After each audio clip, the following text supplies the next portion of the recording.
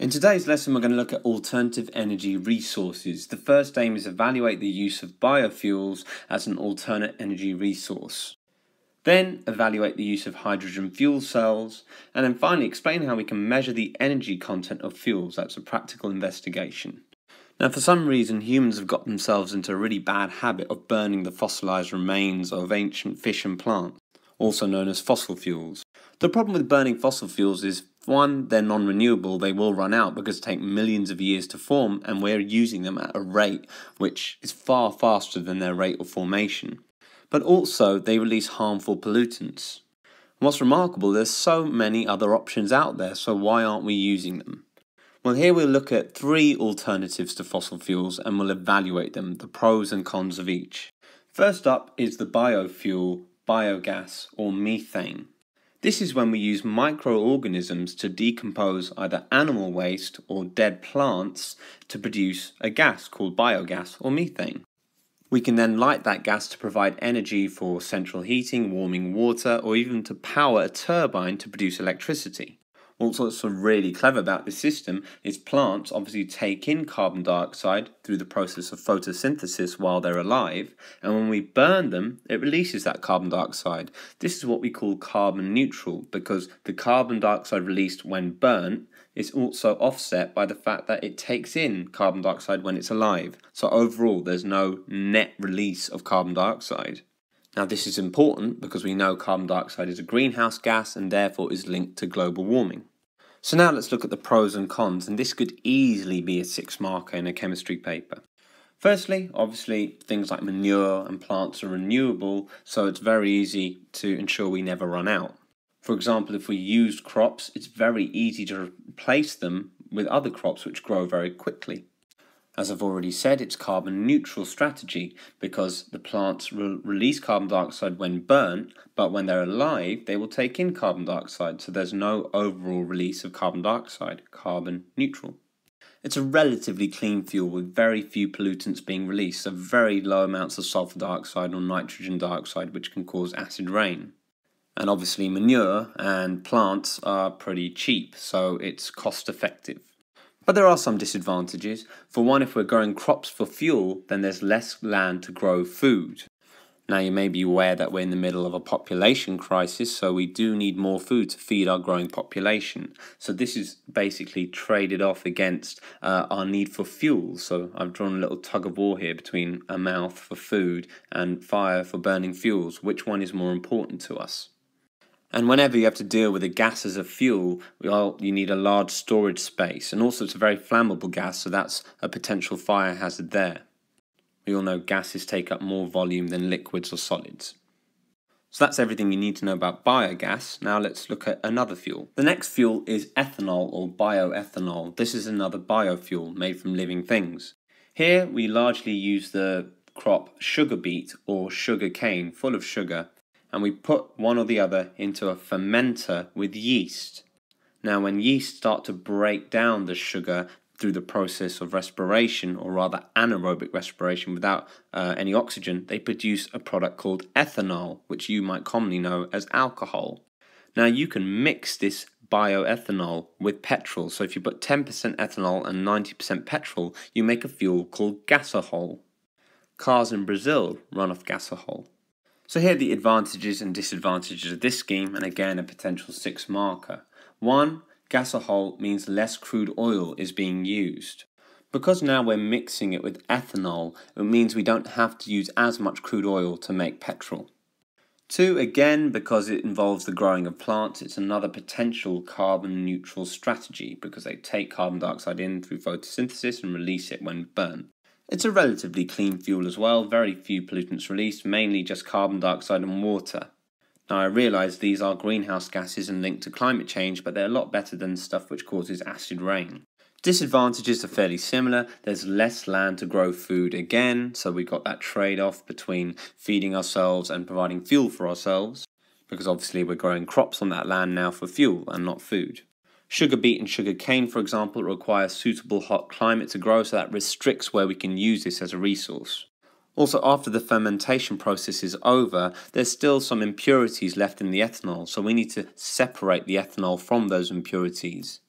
We do that through a process called distillation where we heat it up and basically the ethanol gets separated out according to its boiling point. So distillation needed after fermentation and that uses energy. So that is how we evaluate the use of biofuels as an alternate energy resource. Now the hydrogen fuel cell is not a biofuel. It doesn't come from living things.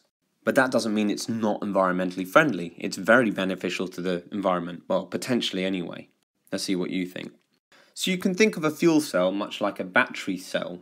However, batteries use toxic chemicals, and when you throw battery cells away, they can cause damage to the environment. Hydrogen fuel cells do not at all. Instead, we're just reacting hydrogen gas with oxygen gas. When the two react, they release energy and produce water. That's it. It's the energy that we use to power things like cars. So, one of the hugest benefits of the hydrogen fuel cell are that there are no pollutants, just water. Unlike batteries, you don't need to recharge them, you just need to make sure there's a constant supply of fuel. The hydrogen fuel cell is very efficient. That means there's very little wasted energy. In fact, hydrogen fuels can be above 80% efficient. That's phenomenally good. Take, for example, something like uh, how we get power from a power station. We have a moving turbine, so there's potential for energy loss through friction there. As the electrical power travels through the cables, through the national grid, we lose energy as heat. It's wasted as heat.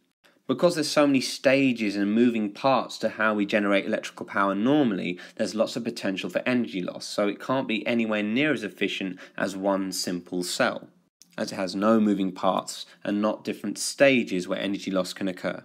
So there's less energy lost through heat and friction.